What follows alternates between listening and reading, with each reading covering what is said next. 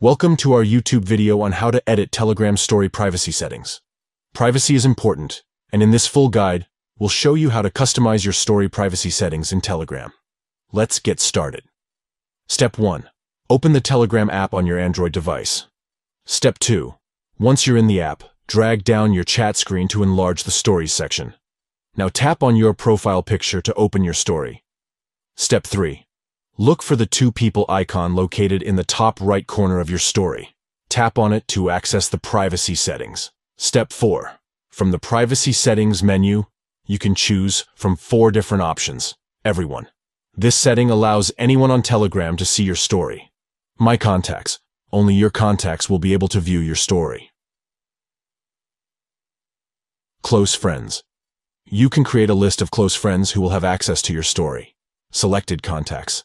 Choose specific contacts who can see your story. Step 5. Once you've selected your desired privacy setting, tap on Save Settings to apply the changes. That's it. By following these simple steps, you can easily customize your story privacy settings in Telegram and have control over who can view your story. If you found this guide helpful, don't forget to subscribe to our channel for more useful tips and tricks. Thanks for watching.